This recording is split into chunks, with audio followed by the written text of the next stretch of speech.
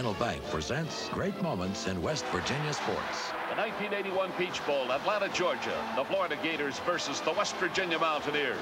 The odds makers called it the lock of the year for Florida. But West Virginia had the key. Hit them. Hit them again. Harder. Harder. Run over them. Run through them and run around them. To the final gun. And a huge West Virginia victory.